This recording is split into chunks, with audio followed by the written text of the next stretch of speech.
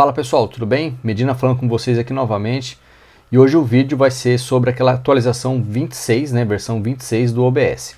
Ela ainda não é oficial, né? Ela está na parte de releases ali do, do GitHub do OBS, então a gente já pode baixar e, e enfim, instalar normalmente para poder testar, tá? Então eu recomendo que você teste, é, não, não teste aliás em produção, somente em, em bancada tal, para não te trazer nenhum tipo de problema caso você esteja trabalhando, fazendo algum evento, alguma transmissão. Eu já estou utilizando a RC2, né, então já instalei a primeira, RC1, instalei a RC2 e vou comentar as coisas que já vieram adicionadas aqui dentro desse OBS, tá? dessa versão do OBS. Uh, ah, nessa RC2 eu já notei um problema, né, vou comentar com vocês no decorrer do vídeo, e vocês vão poder, enfim, é, ouvir minhas considerações em relação às coisas que foram adicionadas nessa versão. Mas antes, né, como de costume, quero convidar você a conhecer nosso curso de transmissão. Ele é voltado, né, ele tem um foco em igrejas, mas você pode estar aplicando o conhecimento que eu trago ali dentro desse curso para qualquer finalidade, seja para eventos, né, para lives, para cultos mesmo, não tem problema, tá? Então você vai poder aplicar é, o ensino que vai do zero ao avançado.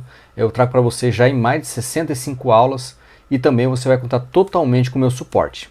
Eu já trabalho há mais de 13 anos com transmissão, mais de 20 anos é, no ramo de tecnologia, então estou acostumado é, de fato ali no dia a dia trabalhar com isso, então eu sei exatamente o que você precisa aprender para começar a iniciar suas transmissões, tudo bem? Então o link está abaixo do site, verifique ali os módulos, a grade é, de tudo que vai é, rolar no decorrer do curso. Tem os links também do apoia né? Caso você queira apoiar esse projeto aqui do canal. Também os projetos sociais que eu apoio, também os links estão abaixo aí e também os meus contatos, beleza? Então, sem mais delongas, vamos ao nosso tutorial. Muito bem, pessoal, então estamos aqui no GitHub do OBS, né? Trazendo essa release, né? A versão 2 dela já, é, dessa versão 26, tudo bem? Então aqui mostra para vocês várias mudanças, né? Que foram feitas, melhorias, etc e tal, beleza? Então você pode estar baixando aqui a versão 64 bits para Windows, Mac e Linux, tá? Você pode estar fazendo o teste já.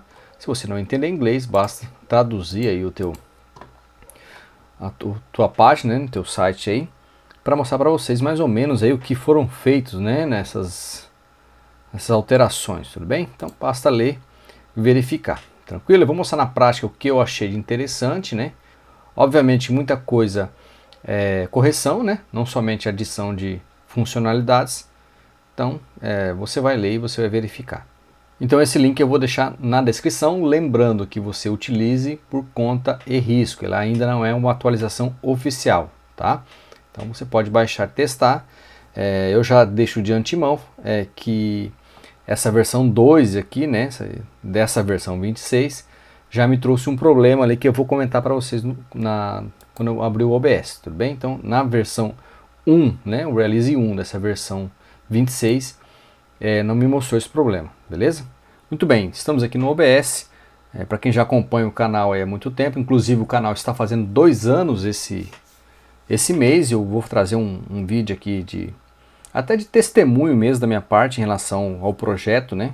Do, tanto do canal, que depois veio virar um curso, beleza? Então, essa semana ou na outra já sai esse, esse vídeo, tá? Não vai ser um vídeo tutorial, vai ser um vídeo é um testemunho mesmo, mas enfim, eu, eu devo fazer esse, esse vídeo. Já aqui no OBS, né, eu nunca fiz um, um vídeo sobre atualizações e nem acho interessante ficar fazendo esse tipo de vídeo, mas como foi adicionado algumas coisas interessantes, achei interessante também da minha parte fazer esse, é, esse vídeo, né, nem um tutorial, né, esse vídeo demonstrativo, beleza? Então tá, então você instalando a versão 26 é, do Release 1 ou 2, a primeira coisa que você nota já na, na interface aqui é esse toolbar, né? Que vai te mostrar algumas informações aqui. E aqui nessa janela você tem que é Start Virtual Câmera. O que, que é isso aqui? Nada mais é que uma câmera virtual que a gente adicionava quando colocava aquele plugin de câmera virtual no OBS. Tá? Então você vai simplesmente clicar aqui para ela ficar habilitada, né? Ele está falando que não tem uma fonte de vídeo aqui. Deixa eu colocar qualquer coisa aqui, tá? Fonte de cor. Então é outra coisa também. Se você inicia qualquer serviço aqui sem uma fonte, ele te dá um aviso, tá? Então, ó, eu inicio aqui, ó. O que acontece? Eu abrir um zoom da vida, eu seleciono essa câmera. Eu vou abrir o zoom, só, pode ser qualquer dispositivo, é, Pode ser qualquer programa que selecione uma fonte de imagem, tá? Uma, uma câmera, beleza? Estou falando do zoom aqui como exemplo. Então eu abri o zoom aqui e vou selecionar o que? Né? Eu tô com a minha câmera normal aqui. Vou selecionar aqui, ó. Uh, OBS aqui, ó. Virtual Câmera. Beleza? Já mostrou a minha fonte de cor ali, tá vendo? Então ela serve para isso. Ela é uma câmera é, virtual. Se eu dar stop lá, ó, ele já para de, de receber o, né, o PGM aqui do, do OBS, tudo bem? Lembrando que ele está mandando somente vídeo, tá pessoal? Ele não é uma fonte de áudio. Ó. Se você vir aqui no microfone, ele não vai estar aqui, beleza? Somente vídeo, tranquilo? Muito bem, então a primeira coisa que a gente vê aqui é essa questão da câmera virtual, tá? Eu prefiro essa ou o plugin? Eu prefiro o plugin. Por que, que eu prefiro o plugin? Primeiro que eu tenho mais saídas, eu tenho até quatro câmeras virtuais no plugin. E eu posso definir no plugin como um filtro. Então eu adiciono, por exemplo, eu não quero que, que seja uma câmera virtual todo o meu PGM, toda a minha saída, o meu output aqui. Eu quero somente uma câmera, somente uma cena. Então eu adiciono um filtro é, de câmera virtual somente na onde que eu quero. Então eu não tenho essa limitação aqui, tá? Isso aqui foi uma coisa que adicionaram, achei legal, tudo bem. Mas na prática eu prefiro usar pelo plugin, porque eu defino se vai ser é, onde vai é, que eu posso definir, né, também através do filtro essa câmera virtual. Ou também ela aparece aqui na questão das ferramentas, né, e eu defino também por ali. Se vocês não sabem instalar esse plugin de virtual câmera, né, é, no OBS, enfim, tem N vídeos no YouTube, mas caso vocês queiram que eu faça um vídeo, eu posso fazer sem problema nenhum aqui no canal. Outra funcionalidade, né, que é esse toolbar aqui, se você vai aqui em cima mostrar, tá aqui ó, Source Toolbar. Então eu clico aqui, ele para de mostrar, mostra novamente. Então, tudo que eu colocar como fonte aqui, ó, ele vai me dar é, as propriedades, filtros, etc e tal, beleza? Ó, você ver, ó, cliquei aqui na fonte de cor, já me deu a cor, eu posso mudar a cor direta aqui, ó, vendo? Adicionei uma fonte de imagem aqui, ó. Eu clico aqui em cima, ó. Vai me dar propriedades, vai me dar o filtro e eu posso desativar e ativar ela. Então, eu achei interessante isso aqui, esse desativar e ativar, porque às vezes você pode travar a placa de captura, travar, a, enfim, a, bater na porta USB ali, travar, né, a, enfim, a tua webcam, placa de captura e tal. Então, você não precisa mais vir aqui, abrir a propriedade, né, selecionar outra fonte de vídeo, depois selecionar ela de volta. Então basta você vir aqui desativar e ativar que ela vai fazer esse processo de refresh, vamos dizer assim, né, do, da sua câmera, beleza? Vou colocar agora um navegador para vocês verem o que aparece. Então eu coloquei um navegador, então aparece também a propriedade, né, os filtros, uh, o atalho para o filtro, né, e o botão aqui de refresh, né, você pode atualizar direto aqui, ó. Então você não precisa mais entrar lá para dar um é na propriedade, né? Que a gente entrava aqui antes, vinha aqui embaixo, atualizava o cache para ele poder atualizar. Então a gente vem aqui direto, ó. Então é bem interessante também essa função. Agora eu adicionei uma entrada de áudio, é, mostra também propriedades, filtros e tal. E eu também seleciono aqui, ó, o dispositivo, tá vendo, ó? Então, bem interessante também. Isso aqui vai aparecer da mesma forma para o para uma câmera também, dispositivo de entrada de áudio ou vídeo, enfim. Você basta você selecionar direto aqui não precisa mais você abrir e selecionar, tá? E aproveitando que a gente já está falando de áudio, vou aqui no, nos filtros, né, dessa, dessa entrada de áudio, e vou adicionar aqui um filtro que também foi é, adicionado nessa versão 26, de redução de ruído. Então basta é, adicionar ele aqui e escolher né, o método que você quer utilizar, beleza? Então esse aqui é o RNose e o Speaks, tá?